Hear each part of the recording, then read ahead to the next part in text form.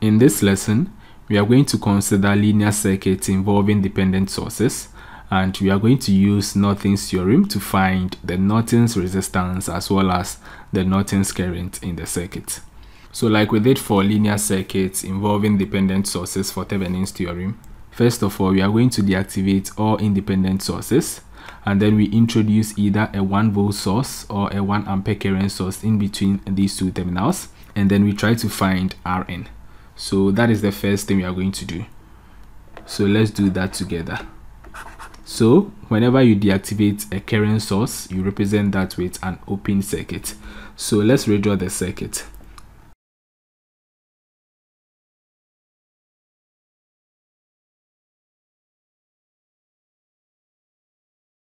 So always notice that independent sources are always deactivated However, dependent sources are left alone.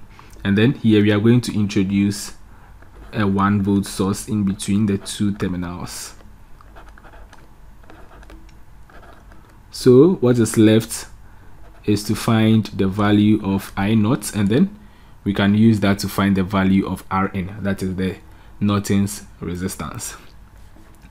Now we have current I naught flowing in this direction, in the anticlockwise direction and so if you want to do current distribution then let's assume we have current i1 flowing in this branch. Then we are going to have current i naught minus i1 flowing in that direction. So that is i naught minus i1 so let's try to find the value of i1 and then i naught. So considering this loop considering this small loop let's call that loop 1 loop 1 we want to find the value of the current i1 so we take the anticlockwise direction and then we have the source voltage to be 1 and that is equal to we have current in this branch to be i1 and then we have the voltage drop to be i1 times 2 so that is 2 i1 we divide through by 2 by 2 and then we have i1 to be equal to 0. 5 amperes. So this is the value of i1 next we are going to consider this bigger loop this bigger loop and then we try to find the value of i0 now the source voltages we have 1 volt and then look at the polarity. If we take the anticlockwise direction you realize that they are all in line. So that's going to be 1 plus 2 vx so for loop 2 loop 2 we have the source voltages 1 plus 2 Vx and that is equal to the sum of the voltages dropped across the loop. We have current in this branch to be I0 minus I1 so that is 6 times I0 minus I1 and then I think that is that is the only voltage drop you have here in this loop so let's try to I mean simplify this. But you need to take notice of the fact that Vx is equal to the voltage across this 2 ohms resistor and that is giving us 2i1 therefore we are going to substitute this into this equation. So that becomes 1 plus 2 times Vx that is 2i1 equals 6i naught minus 6i1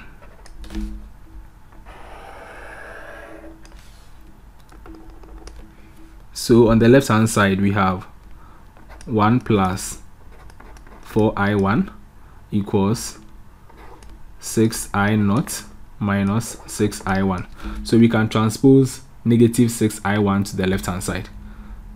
So that becomes plus 6i1 and that is equal to 6i naught. So then we have 1 plus 10 i1 and then in place of i1 we have 0 0.5 so 0 0.5 equals 6 i naught. 10 times 0 0.5 is 5 so 5 plus 1 is 6 so 6 equals 6 i naught. We divide through by 6 and then we have i naught to be equal to 1 amperes or 1 ampere so that is the value of I naught 1 ampere. therefore since we have i naught we have v naught then we have rn to be equal to v naught over i naught that is equal to 1 over 1 and is equal to 1 ohms notice that notice that the Norton's resistance is equal to the Thevenin's resistance. Okay. So we have Rn to be equal to 1 ohm. Now let's move on to find the value of the short circuit current or IN so to find IN we go back to the original circuit given in the question. And then this time we short circuit the terminal. So this is the short circuit current or the Norton's current. So let's try to find the value of IN so to do so now let's consider this loop. Now whenever you go through a loop without passing through any other circuit element except one resistor then it means that resistor has been short circuited now if this 2 ohms resistor has been short circuited what this primarily means is that the value of current flowing in this direction is 0 amperes. We have no current flowing through this branch. Now if no current is flowing through this branch then what this primarily means is that we have Vx which is the voltage across these 2 ohms to be 2 times 0 which is 0 volts so we have Vx to be 0 volts now if Vx is 0 volts then this dependent voltage source which is 2Vx is equal to 2 times 0 which is also 0 volts therefore 2Vx is also equal to 0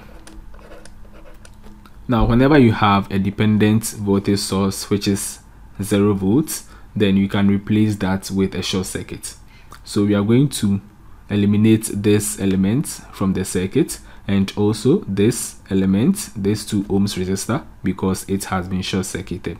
So let's redraw the circuit. So we have this 6 ohms connected in parallel with the current source.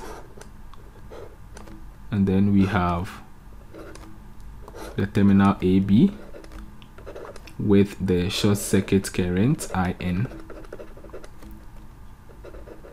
So this is 10 amperes, this is 6 ohms. Again, whenever you go through a loop without passing through any other circuit element except one resistor, then that resistor has been short circuited. So current in this branch is 0 amperes. Now in that case, what this primarily means is that all the current produced by this current source 10 amperes is going to flow in this branch that is in the short circuit. Therefore we have we have the short circuit current or the Norton's current to be 10 amperes. So we have the Norton's resistance to be 1 ohm and then Norton's current to be 10 amperes so let's move on to the next example. We are going to find the Norton's resistance as well as the Norton's current in the circuit below. Now in this circuit, we have this 50 volts to be an independent source. And so we are going to eliminate this independent source and then we maintain this dependent source and then we introduce a 1 volt source between the two terminals to find Rn so let's do that together. Now let's redraw the circuit here. So this is going to be a short circuit and then instead of drawing this 12 here we are going to place it here.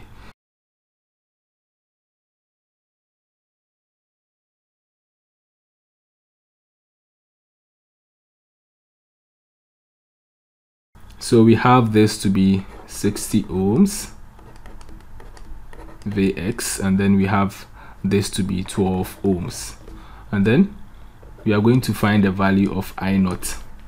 Now you realize that all these three elements are in parallel with this source voltage. Now what this primarily means is that each element has the same voltage 1 volt across it so the voltage across 12 ohms is 1 volt voltage across 60 ohms is also 1 volt now if you want to find the total current produced by this 1 volt source which is i naught then we say that i naught is equal to v divided by 12 plus v divided by 60 plus 2Vx. So for resistors in parallel, we have the same source voltage across them. Now let's try to, I mean, combine this. So V is 1. So that means that we have 1 over 12 plus 1 over 60 plus 2Vx. Now if you should add these two, then you are going to obtain 0 0.1 and then plus 2Vx. Now let's call this equation 1. Now, also from the circuit, we want to find an expression for Vx.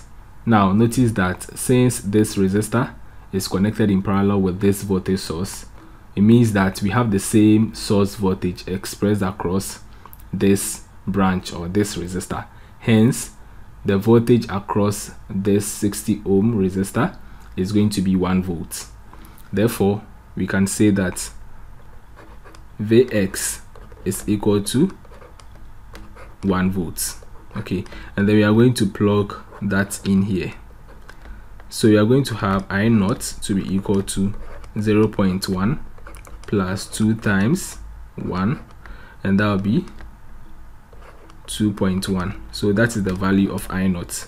We have i naught to be 2.1 now since we have the value of I naught, we can find Rn, which is given as V naught over I naught. We have V naught to be 1, I naught to be 2.1, and that will give us 0 0.4762 ohms. So that is the value of Rn, 0 0.4762 ohms. Now let's move on as we try to find the value of IN. So with that, we are going to revisit the original circuits. Okay, the original circuit. So that is what we have here. And what you are going to do is to introduce or to short circuit the terminal. So we have IN, the short circuit current. Now, Whenever you go through a loop without passing through any other circuit element except one resistor, that resistor has been short circuited. So it means that current in this branch is 0 amperes. Again, if the current in this branch or in this resistor is 0 amperes, then it means that the voltage Vx across 60 ohms which is giving us current in this branch 0 times the value of the resistor 60 is also equal to 0 volts and then we have the source the dependent current source also 2vx to be equal to 2 times 0 which is also 0 amperes. So this is also 0 amperes. Now because it is a dependent current source and then it is 0 amperes we are going to replace that with an open circuit. So we are going to redraw the circuit eliminating this branch and then making this an open circuit so we can redraw the circuit where we have this to be the 50 volt source in series with this 12 ohms and then we have the terminals AB with the short circuit current IN. Now to find the value of IN, we know this is equal to 50 equals 12 I. Now the value of I is the same as the value of IN. So we can simply put IN here. We divide through by 12 and then we have IN to be equal to that's going to be 4.1 0.167 amperes so this is the value of in so we have the norton's resistance to be 0.4762 ohms and then norton's current to be 4.167 amperes. So that's it for today's video. Thanks for watching and see you in my next video. Bye bye